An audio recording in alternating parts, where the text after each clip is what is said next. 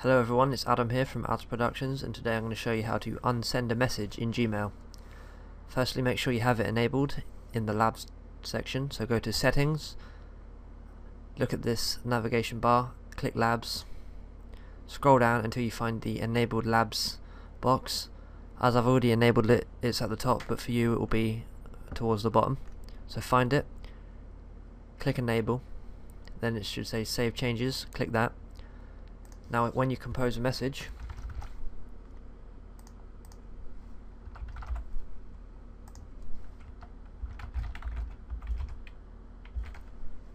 and send it if you suddenly have second thoughts you have an undo button right here.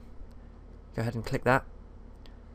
Now if I go over to the account that I send that message that I sent that message to nothing should be there. And it's not just to show you that this is in fact legit. I'll press send again. As you can see here you can press undo for about 10 seconds until it fully sends. It's almost like a cache. There we go. The undo button is gone.